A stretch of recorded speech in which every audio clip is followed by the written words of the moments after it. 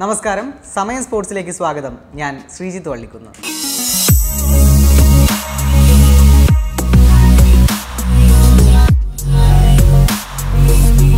കളിച്ചത് രണ്ട് ടെസ്റ്റ് മത്സരങ്ങൾ. നേടിയത് മുപ്പത്തിയെട്ട് റൺസ് ശരാശരി ഒമ്പത് പോയിന്റ് അഞ്ച് പൂജ്യം.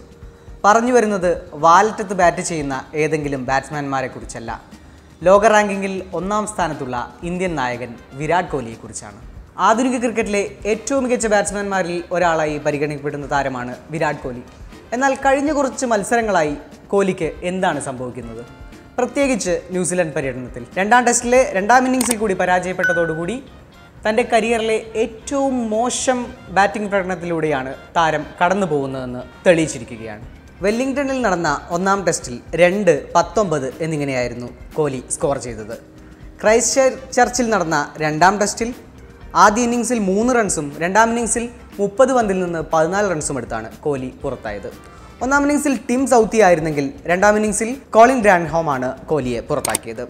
രണ്ട് ഇന്നിങ്സുകളിലും എൽ ബി ഡബ്ല്യു ആയി സമാനമായ രീതിയിലായിരുന്നു കോഹ്ലി പുറത്തായത്. രണ്ടായിരത്തി പതിനാലിലെ ഇംഗ്ലണ്ട് പര്യടനത്തോടാണ് പലരും വിരാട് കോഹ്ലിയുടെ ബാറ്റിംഗ് പ്രകടനത്തെ താരതമ്യം ചെയ്യുന്നത്. പക്ഷേ യഥാർത്ഥത്തിൽ അതിനും താഴെയാണ് ഇപ്പോഴത്തെ അവസ്ഥ. അന്ന് പതിമൂന്ന് പോയിന്റ് നാല് പൂജ്യമായിരുന്നു കോഹ്ലിയുടെ ബാറ്റിംഗ് ശരാശരി.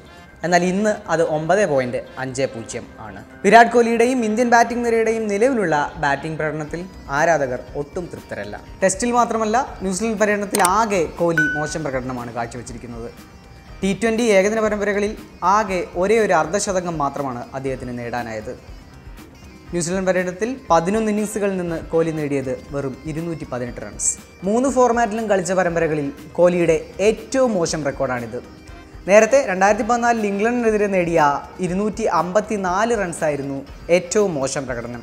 എന്നാൽ അതിനും താഴെ നാണക്കേടിന്റെ റെക്കോർഡുമായാണ് വിരാട് കോഹ്ലി ന്യൂസിലൻഡ് പര്യടനം അവസാനിപ്പിക്കുന്നത്. കൂടുതൽ വാർത്തകൾക്കായി സന്ദർശിക്കുക Malayalam dot Samayam dot com